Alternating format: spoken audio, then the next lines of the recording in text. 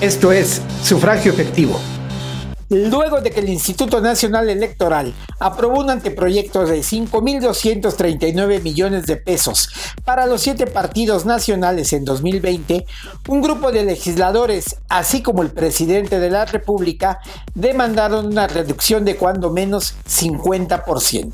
El año próximo no se celebrarán elecciones federales y apenas se llevarán a cabo procesos para votar por diputados locales y ayuntamientos en Coahuila e Hidalgo respectivamente. Aún así, el órgano electoral programó un incremento de alrededor de 334 millones de pesos con respecto al presente año, en el que recibieron 4.965 millones. El reclamo de diversas fuerzas políticas es unánime, no es tiempo de derroches.